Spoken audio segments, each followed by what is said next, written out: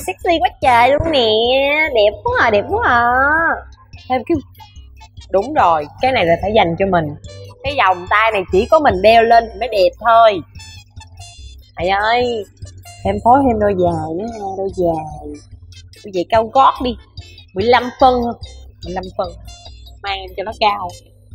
Oh my god.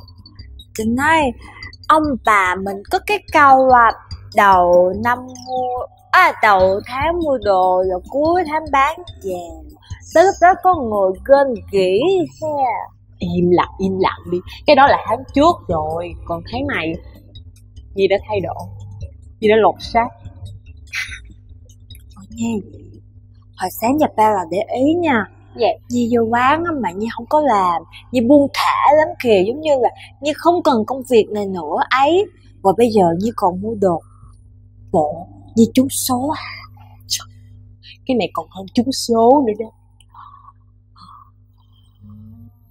Hơn trúng số nữa. Vậy là bây giờ như rất giàu có đúng không? Như là rất kiếp đúng không? Nhi gì uống miếng nước đi.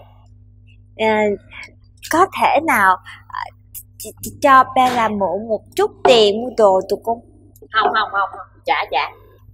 Không tôi um, tôi đặt xong mốt uh, người ta giao tới á xong rồi tôi đi trả tiền người ta.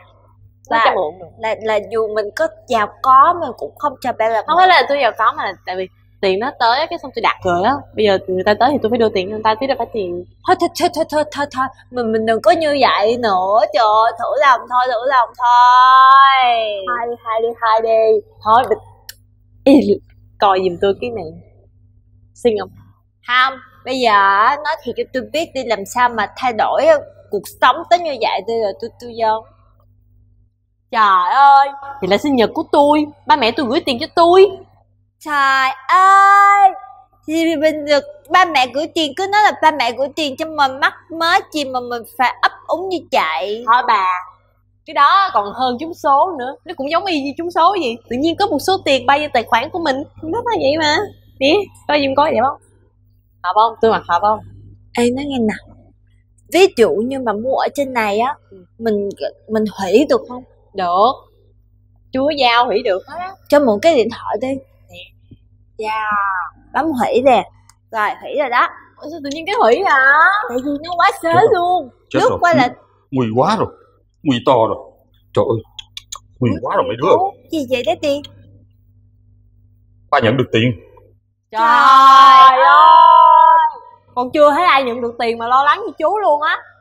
Trời không lo cho được mấy đứa. Phải chi cái, cái, cái số tiền này á Mình biết nó ở nguồn gốc từ đâu ra.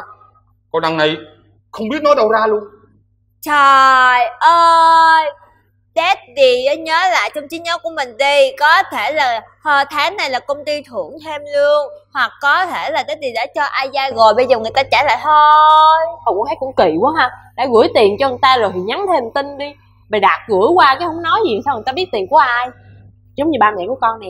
Trời ơi nói là sẽ tặng quà thì cái con á không hả? Không sao cái tinh cái là có tiền chuyển vô tài khoản liền. Thì thà nói vậy đi. Đằng này không có ai báo cho chú Cũng ai nhắn tin cho chú một gì hết Làm sao chú biết.